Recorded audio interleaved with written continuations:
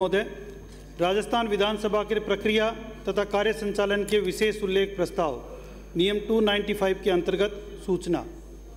महोदय, मैं सदन का ध्यान इस ओर आकर्षित करना चाहता हूँ कि विधानसभा क्षेत्र सांगानेर में उन्नीस सौ बयासी से उन्नीस सौ पंचानवे के बीच राजस्थान हाउसिंग बोर्ड ने प्रतापनगर, श्योपुर, पिंजरापोल गौशाला के पीछे व आसपास टिब्बा टोल टैक्स क्षेत्र, कालाबड़ फाटक क्षेत्र तारों की कूट व मानसरोवर के सहित आसपास जेडीए के जोन नंबर चार, पाँच छः आठ व नौ में कृषि भूमि को अवाप्त किया गया था।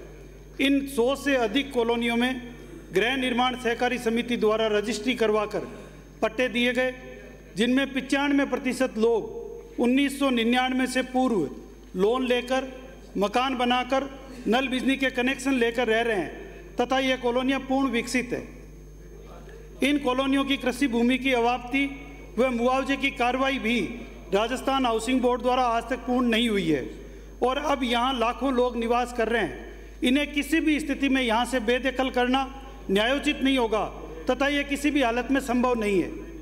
हाउसिंग बोर्ड का मूल उद्देश्य आमजन को आवास उपलब्ध करवाना था, जो कि पूर्ण हो गया है। वर्तमान में सरकार द्वारा प्रशासन शहरों के संग अभियान के नाम पर खूब प्रचार प्रसार किया जा रहा है।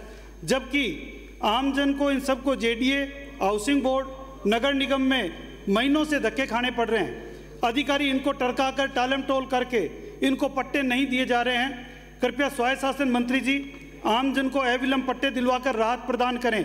अतः प्रक्रिया एवं कार्य संचालन के विशेष उल्लेख प्रस्ताव, नियम 295 के अंतर्गत स्वायत्त शासन मंत्री जी का इस ओर विशेष ध्यान आकर्षित करता हूँ। धन्यवाद। श्री